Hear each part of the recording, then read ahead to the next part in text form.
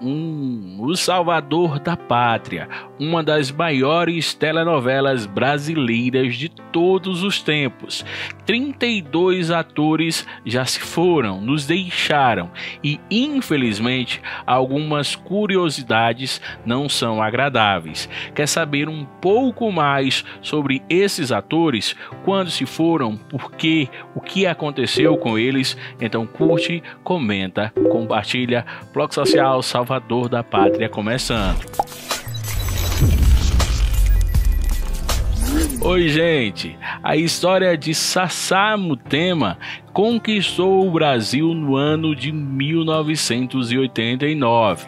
O salvador da pátria, vivido por Lima Duarte, era um cara humilde da roça que quis aprender a ler e aí acabou conquistando o coração da professora Clotilde Maite Proença. O Brasil queria saber quem era o salvador da pátria e quem matou Juca Pirama, personagem vivido por Luiz Gustavo.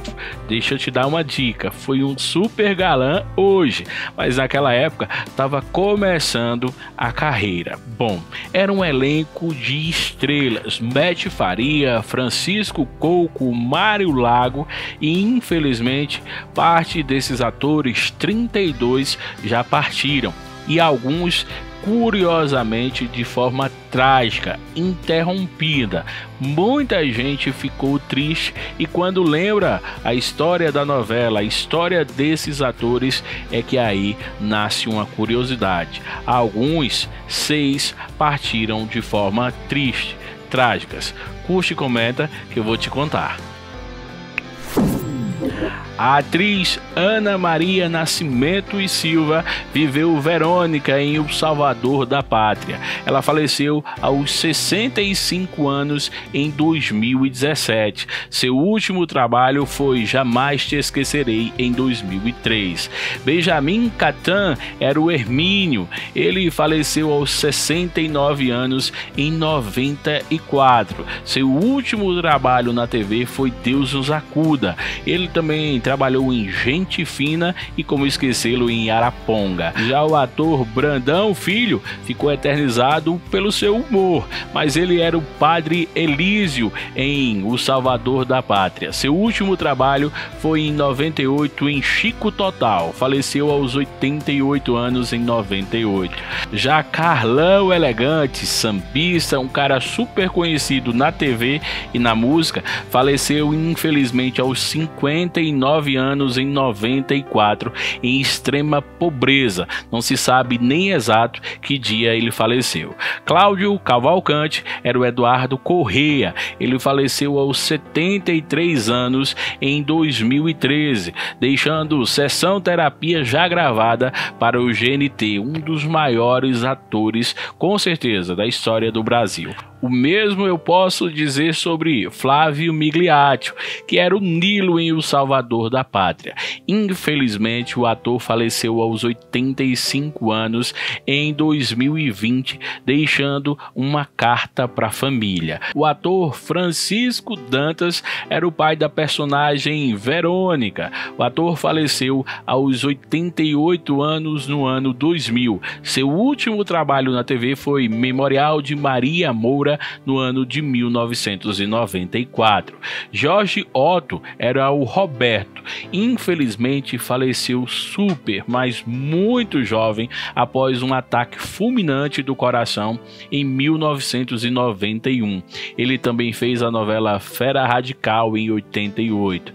Germano Filho era o Pastor Mendes. Seu último trabalho na TV também foi Memorial de Maria Moura em 94. O ator faleceu aos 62 anos em 1995. O ator Emício Frois era o Jorge em O Salvador da Pátria. Ele faleceu aos 84 anos em 2005. Seus últimos trabalhos na TV foram em Você Decide. Ele também trabalhou em Rock Santeiro. Ivan Cândido era o Zenóbio. O ator faleceu aos 84 anos em 2000 2016. Seu último trabalho na TV foi a minissérie JK em 2006. Ele também fez Senhora do Destino. João Carlos Barroso, Toninho de Rock Santeiro, viveu Fidelis em O Salvador da Pátria. Ele faleceu em 2019 aos 69 anos. Seu último trabalho, Sol Nascente, em 2016. Jorge Xerxes também ficou famoso pelo seu humor, mas em O Salvador da Pátria ele fez um juiz. O ator faleceu aos 82 anos em 2011. Seu último trabalho na TV foi em Zorra Total.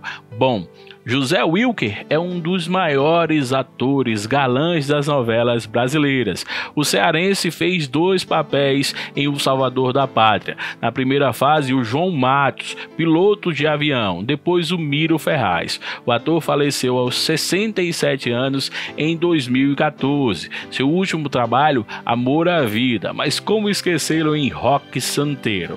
Luiz Maçãs era o Marco Antônio, mais uma morte infelizmente cedo demais. Faleceu aos 33 anos, também deixando uma carta para a família. Seu último trabalho em Engraçadinha 1995.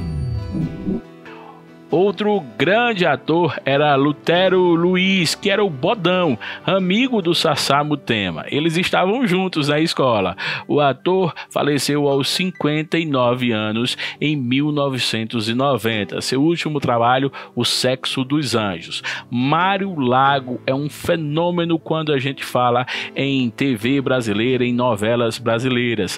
Ele era o Quinzote, ele faleceu aos 90 anos em 2000 2002 e hoje dá nome ao Prêmio Domingão do Falsão, troféu Mário Lago. Ele merece, merece muito aplauso. Tem mais, tem o Nelson Dantas que viveu o Décio em O Salvador da Pátria. O ator faleceu aos 78 anos em 2006. Seu último trabalho na TV foi O Pequeno Alquimista em 2005. Tem mais, tem Norma Geral que era Noêmia. Ela faleceu aos 95 anos em 2003. Seu último trabalho na TV, A Casa das Sete Mulheres, em 2003.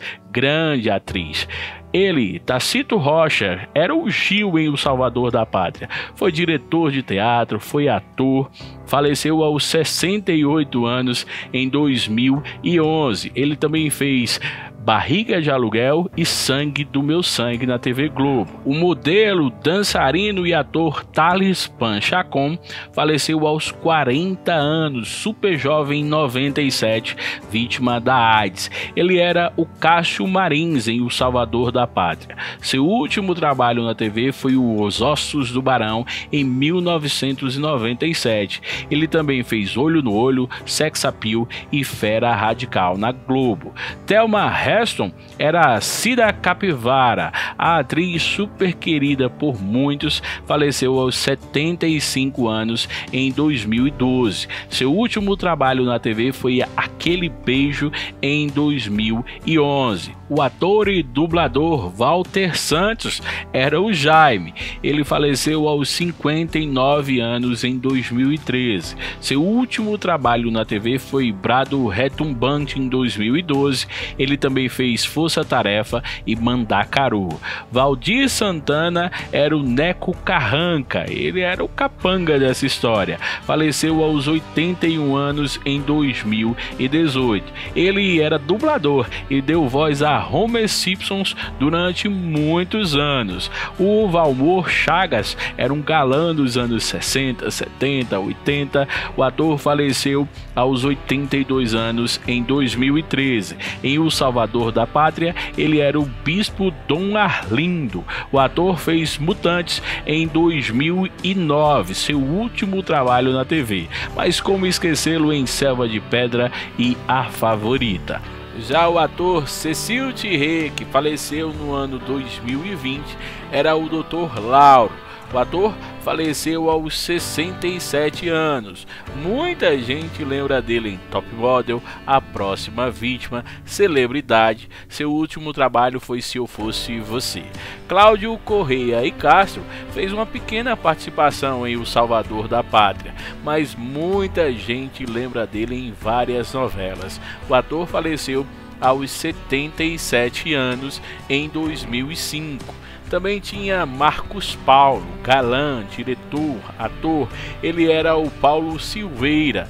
O ator faleceu aos 61 anos em 2012. Seu último trabalho na TV foi o show da virada de 2013 na Globo. Luiz Armando Queiroz, pernambucano, era o Francisco. O ator faleceu aos 64 anos em 1999. Seu último trabalho na TV foi na Manchete, na novela Mandacaru em 96. Gilberto Freitas era o Fernando Gaspar. O ator faleceu aos 74 anos em 2001 seu último trabalho foi no Você Decide em 96. Eduardo Galvão era o Regis de Abreu, político, gostava muito da política. Ainda jovem nessa novela, o ator faleceu aos 58 anos em 2020, mais uma vítima da Covid-19. E aí, quer saber mais sobre as novelas brasileiras? Quer saber um pouco mais sobre tudo que acontece na TV, então curte, comenta, compartilha, segue a gente nas redes sociais, arroba Social. Aquele beijo, tchau, tchau.